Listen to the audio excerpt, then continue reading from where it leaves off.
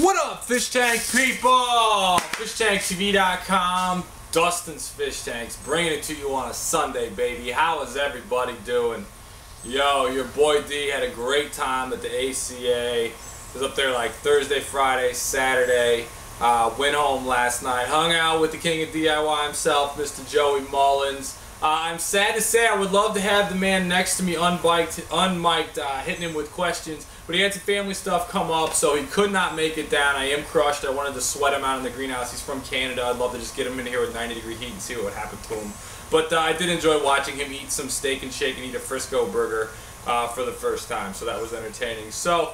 Yes, folks, ACA was a great time. Uh, such a good time meeting all of you. Many of the people that could make it there. So pumped to actually like meet people and look them in the eye instead of just like looking into a camera and responding to emails. Like actually like seeing people and talking about their tanks and that good stuff. So a lot of fun there. Uh, went to what's called I never heard of this before. The ACA has what's called the bitches auction which excuse my French, but it's hilarious. They have all these women that auction off all these cichlids, and I could care less about 95% of the fish. Although Brian did bring back a Tanganyika eel, which was sick. But anyway, um, women giving like you know fake lap dances to dudes who spent over 100 bucks. And anyway, a real good time. So the ACA, American Cichlid Association, great time. Um, thank you, Bill Merkley, and. Uh, you know, Rusty Wessel for having a great show. So anyway, today, folks, it's Species Sunday, but I want to talk about bacteria. I don't know really the species of it, but it's important, and uh, I talked about it last week when I had the balancing issues, and I got the algae in the tanks and how to keep those free. So I want to stick with it here. I want to talk about bacteria and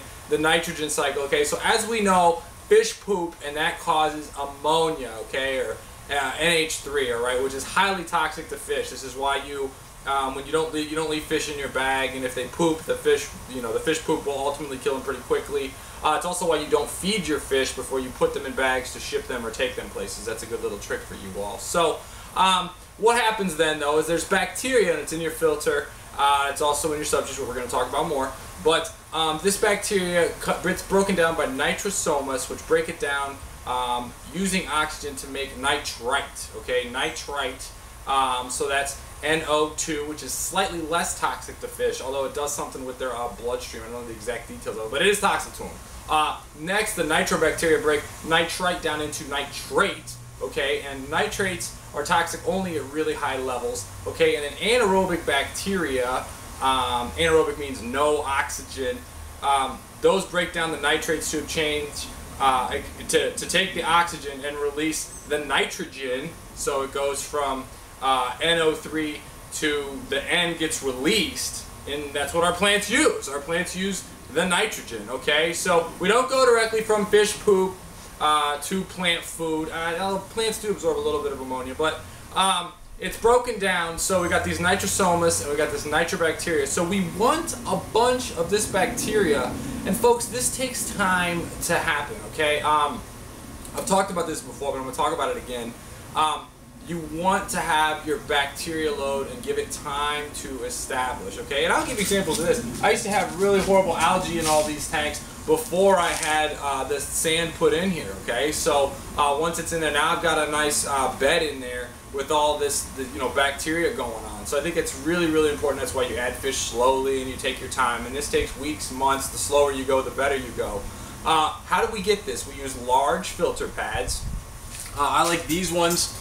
Um, they got the like, porous sponges, and these are actually all I use in my filters. I don't use any sort of flossing material. But these are real good, lots of surface area. And you never want these to get uh, entirely like the water flow to stop. You don't want to like unplug your filter for more than like 20 minutes or so. So you want the water to always be circulating through to keep them alive here.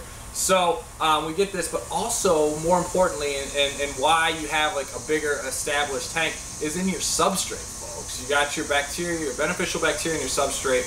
Um, I'm going to go ahead and say the dirty tank as well because you got more of the substrate, um, is where this bacteria lives and grows. So the goal here is you want your nitrifying bacteria to have a bigger establishment going on for your for your tank um, to break this stuff down faster than you can add waste to the tank. So you have like a lighter amount of fish and a greater amount of plants. So you add fish slowly, you add plants quickly, okay? Uh, you don't add fish quickly.